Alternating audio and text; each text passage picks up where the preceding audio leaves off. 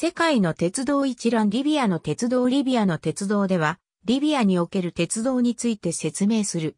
リビアには1965年以来、運行している鉄道はないが、かつては鉄道網が存在していた。また2014年現在、大規模な鉄道網の建設が進められている。イタリア領リビアにおける鉄道もかつてリビアを支配していたイタリアはリビアに 950mm 機関の鉄道を 400km 近く建設した。イタリアが最後に着工した鉄道はトリポリとベンガジを結ぶもので、1941年夏に着手されたが、第二次世界大戦の敗北により、初期の段階で工事は中止された。950mm 機関の鉄道網はイタリアの統治の一環として1912年3月17日に開業し、トリポリを中心としていた。これはトリポリから 120km 西のズワーラ 100km 南のガルヤーン、10km 東のタジュラを結んでいた。またこれとは別に 750mm 機関の鉄道がベンガジを中心に存在していた。この鉄道はバルカまでの 110km を本線とし1911年から1927年までかけて段階的に開通した。またスルークまでの1926年に開通した 56km の支線もあった。バルカからデルナまでおよそ 40km ほどが軍事目的で第二次世界大戦中に延長された。この路線がリビアで最後に廃止された区間で、1965年末のことであった。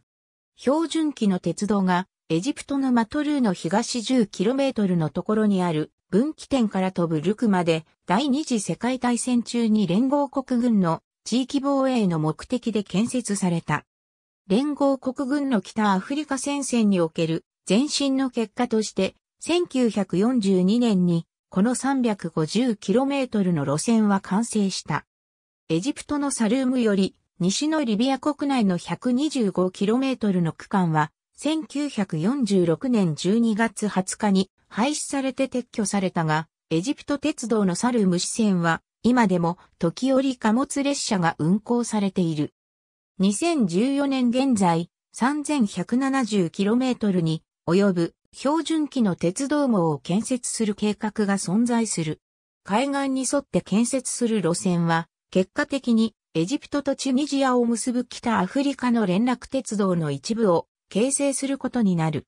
チュニジアとの国境にあるラスエジアダーから首都トリポリを経由して、当時のリビアの最高指導者、ムアンマル・アルカッザーフィーの故郷、スルトまでの区間も受け負っていた。中国鉄拳は2008年6月にスルトからフムスまでの 352km の工事も行い、2013年完成予定であった。この東西横断路線は伏線となる予定であった。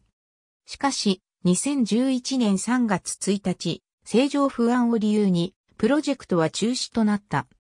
中国鉄拳の手掛けるもう一つの路線は、南北縦断でセブハ近くのアジシャチにある鉄鋼山から製鉄所と港のあるミスラタまでの 800km を運行する予定で、2012年に完成する予定であったが、こちらも中止。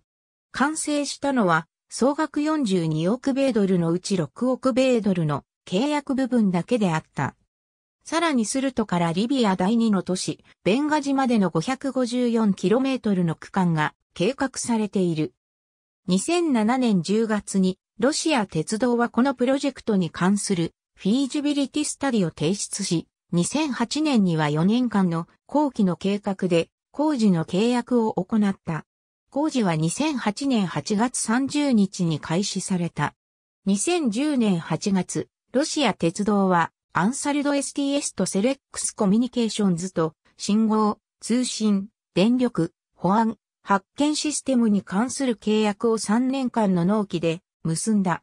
アンサルド STS とセレックスコミュニケーションズは、スルトからチュニジアとの国境まで、及びセブハまでの路線に関する信号システムに関しても受け負っていた。南へニジェールと結ぶサハラ砂漠縦貫鉄道も計画されている。2007年6月10日、アメリカ合衆国のゼネラルエレクトリックと機関車の供給及びリビアの関係者への運転と保守の訓練を行う契約を結んだ。この契約には保守部品の供給と技術支援が含まれる。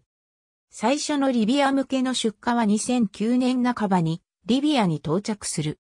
リビアがボネ・オブ・エジプト及びジェス・システマス・フェロビリオスと分岐機の供給契約を結ぶ。ありがとうございます。